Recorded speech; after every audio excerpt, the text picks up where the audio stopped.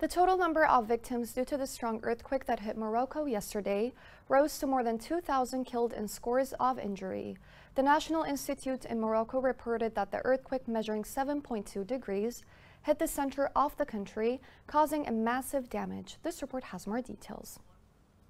Morocco's devastating 7.2 magnitude earthquake that struck the country late on Friday night has claimed over 2,000 lives, making it the deadliest the country has seen in decades. Another 2,000 people were hurt, including about 1,404 who remain in critical condition, according to Morocco's state TV. The earthquake struck around 11:11 p.m. local time the epicenter was in the high Atlas Mountains, about 72 kilometers southwest of Marrakesh at the center of the country. Not since 2004 had the country seen a comparable disaster when a 6.3 magnitude earthquake struck the port of Al Hoceima. Morocco's worst earthquake of modern times was in 1960 near the western city of Agadir. That disaster killed at least 12,000 people. The earthquake is classified as strong. It also struck at a relatively shallow depth, making it more destructive. More than 300,000 people have been affected in Marrakesh and surrounding areas.